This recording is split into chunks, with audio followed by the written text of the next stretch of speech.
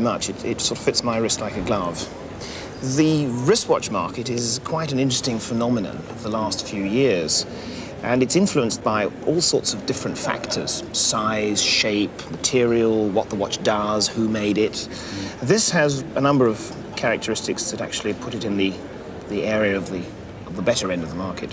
First of all, it's, it's rectangular or square in shape of the dial, but it's a rectangular watch. It's in white gold. It is unusually flat, and if we can open the movement, and I've got a knife here, which uh, I'm sure we're going to have a hundred letters saying. here we go. If I can just take this delicate little instrument to open it here. Normally I can open it with my fingers, but uh, this one has a very, very tight case. There we are. Oh, well done. All right. We can look at the movement, which again is an important consideration. And here, we've got immediately one can, can notice that it's actually got one particular little detail that makes it rather special.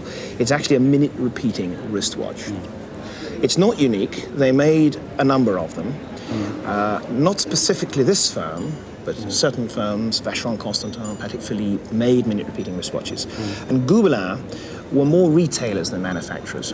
They actually had watches specifically created for them to sell. And this is the name on this watch, Gübelin of Lucerne. Now, the particular movement here is, is 29 jewels. It's beautifully finished, machined decoration all over it. Uh, it's adjusted for seven positions. That means temperatures, seven adjustments on it, rather. That means for temperature, for positions, and for various different types. And seven is almost as many adjustments as they make. That means the watch was tested before it was delivered in various positions and at various different temperatures. The, the actual train of wheels here is made out of a gold alloy.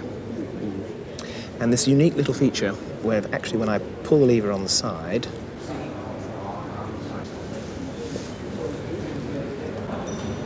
the hours, the quarters and the minutes on the two gongs.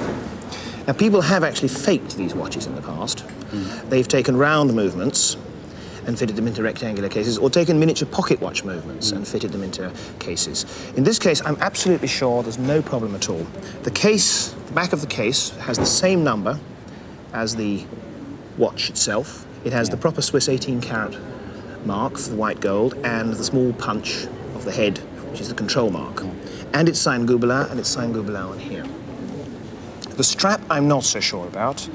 Uh, that is white gold also, but it doesn't bear the same marks, and I think it might have been fitted later. Mm. Fascinating. Do you ever wear it? No. No. So. Wouldn't dare. give me a little clue as to how you got it. Well, it's my father's and his father's before. His father's. So it's not sort of, you're not collectors or anything? No, no, no, just had it in the family, you know, all my life, you know. Well, I, suppose you'd like an idea about it. Oh, bad idea.